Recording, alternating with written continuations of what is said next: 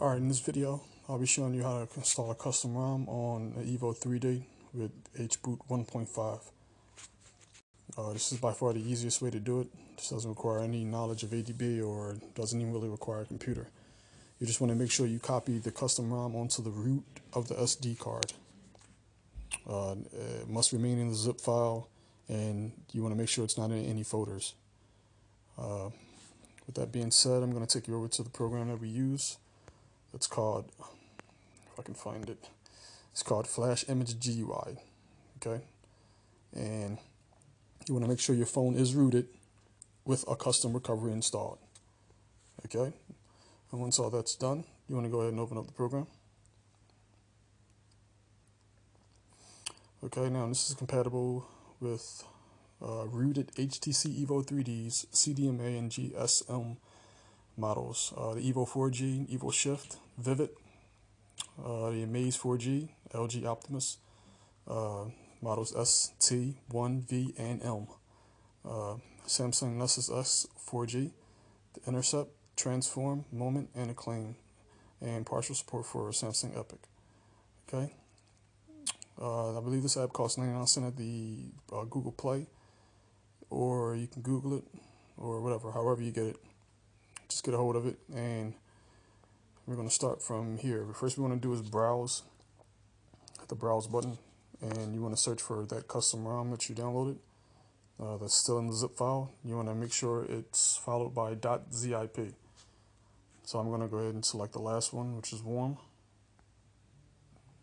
and it's going to say this file is too large. That's fine. Just go ahead and hit yes. Uh, it's, going to uh, it's going to index the file. It's going to rip the kernel out. Uh, and it usually takes around 30 to 30 seconds to a minute. So be patient, let that work.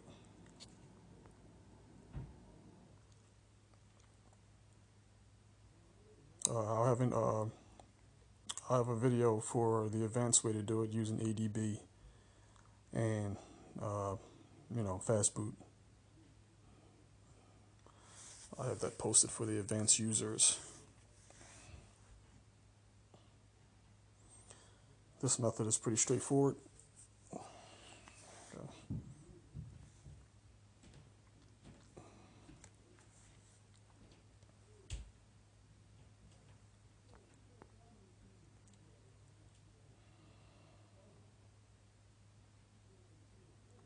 Okay. So that did what it had to do. And now what we want to do is go ahead and hit the flash button. The, the button that says flash image. We want to hit that. And we want to confirm this by hitting yes. And it's going to work. Of course, if it asks you for super user permissions, you always want to hit allow.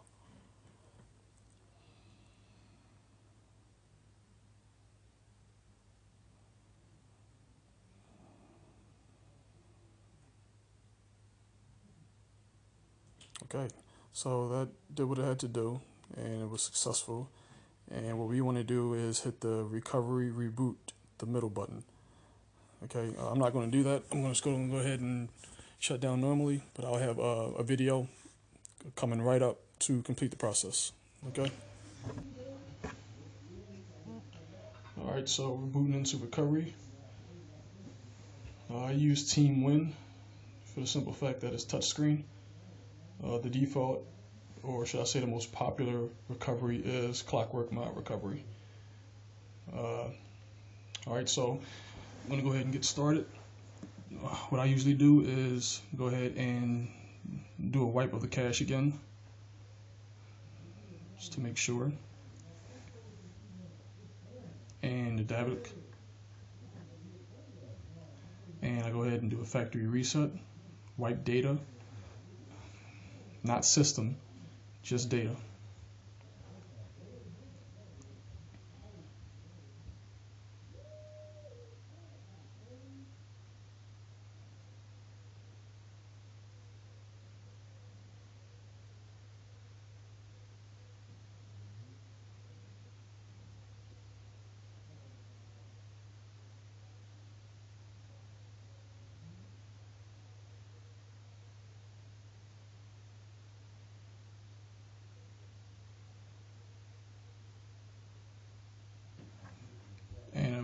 Back out of that and you want to find you want to find the ROM that you chose earlier uh, in the flash image GUI and for me that's going to be MeanROM. You want to confirm that that's what you see here and you want to go ahead and flash now. So we're going to let that uh, install and be right back. Okay back.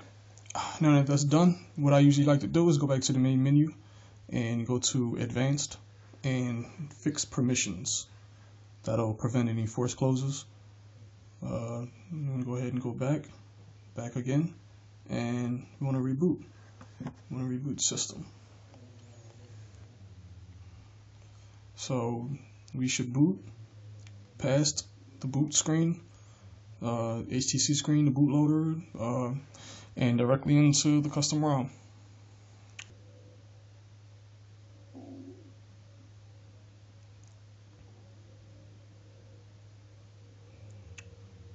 So if we get past this screen, uh, we're good to go.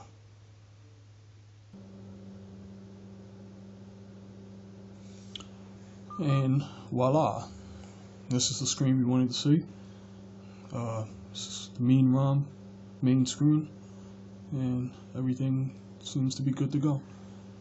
Uh, so I'm going to go ahead and set that up, and that'll pretty much be it. Uh, if you like the video, please rate, subscribe, and if you have any questions, be sure to send me a message. Alright? Until next time, have a good one.